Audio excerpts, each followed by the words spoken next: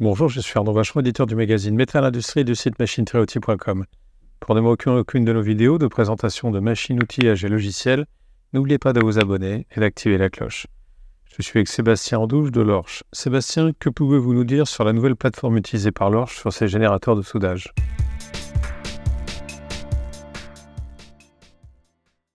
Bonjour, euh, petite présentation de la nouvelle plateforme Lorch euh, que l'on a appelée, euh, qui s'appelle AQS.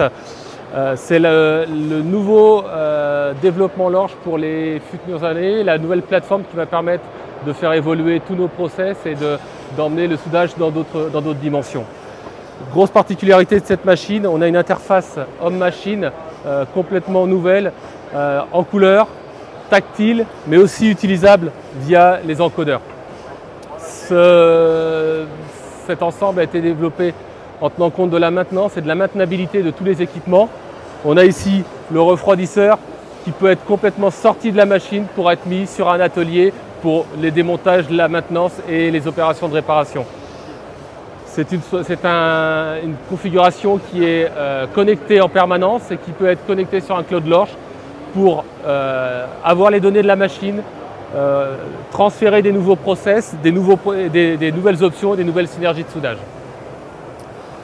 On a des torches intelligentes connectées sur cette machine avec des commandes à distance qui permettent de piloter le, poste euh, de façon très facile et très intuitive pour n'importe quel soudeur. Ces torches sont prévues aussi avec un système euh, de raccordement Lorch qui garantit un dévidage du fil euh, très précis, mais aussi surtout la transmission de, la puissance sans perte au niveau, euh, au niveau, de la torche. Gros avantage aussi, on a un bus de terrain à l'intérieur de ce raccord qui permet euh, à la torche de communiquer aussi avec la machine.